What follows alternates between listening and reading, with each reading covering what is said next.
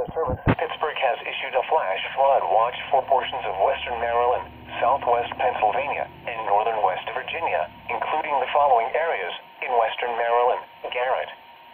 In southwest Pennsylvania, Allegheny, Fayette, Fayette Ridges, Greene, Washington, Westmoreland, and Westmoreland Ridges. In northern West Virginia, eastern Preston, eastern Tucker, Marion, Monongalia, Preston, ridges of eastern Monongalia and northwestern Preston, western Tucker. From Sunday afternoon through late Sunday night, storm totals of 1.5 to 2.5 inches are possible during the period from Sunday afternoon through Sunday night, and rain may be particularly heavy Sunday evening. Flash flooding of small creeks and streams may result in areas that receive multiple rounds of heavy rain. In larger area, rivers will likely see rises as well. Landslides may also be a concern. A flash flood watch means that conditions may develop that lead to flash flooding. Flash flooding is a very dangerous situation.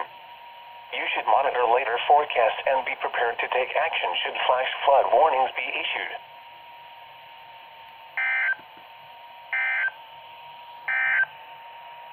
The forecast.